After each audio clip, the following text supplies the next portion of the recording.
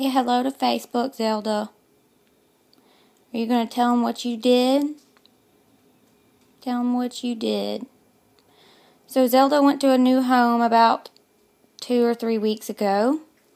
And she decided she wanted to tear that lady's arm off.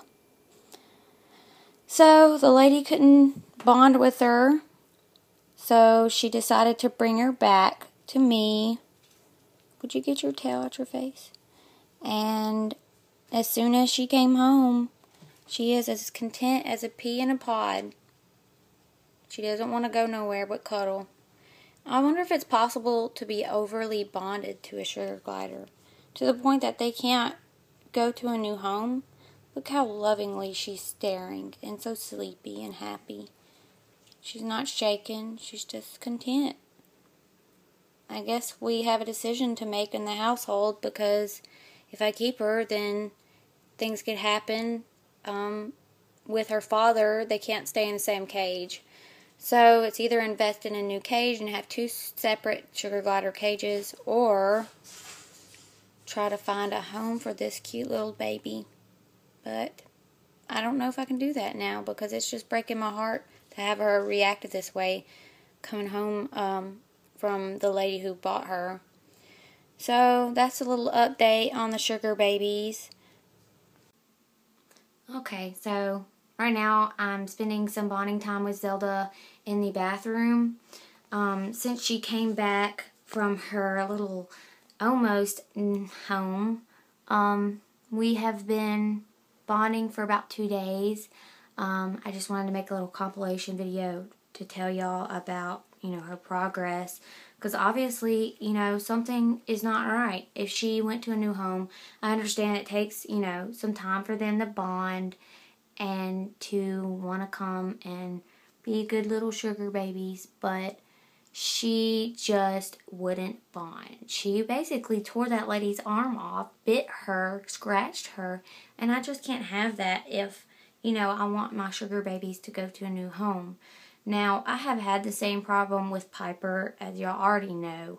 Piper is very, she has such an attitude, and Zelda just seems to favor her. And I really don't know what to do to break that. Piper's a lot better now that she's not pregnant anymore and carrying these big old babies in her pouch. But I don't know if it's just a female sugar glider instinct but she just wants to fight me and doesn't want anything to do with me or want to play. She just wants, if I have a treat, she wants it and she runs. If I am giving her food and water, she drinks it and eats it and runs and goes and hides. Like they seem to not want to have anything to do with people. And I just don't really know how to break that. I guess it's something that really is just going to take a lot of time. And I feel you know, that she doesn't need to go to another home if she's going to treat, you know, her new owner that way. And she's so cute and um I just don't I'm just going to have to figure it out and I'll keep you guys updated and let you know because I think a lot of people are having this problem with their sugar gliders. And you watch other YouTube videos about people spending all this time they do fun stuff with their sugar gliders and the sugar gliders are so bonded and it just doesn't make sense to me. Um, I don't have that problem with males now. Leo and Link, whenever Link is gone, Link got adopted. Um, but they are so sweet and they love me and they want to spend time with me and hang out. And Zelda just and and Zelda and Piper are not interested, and I just don't get it.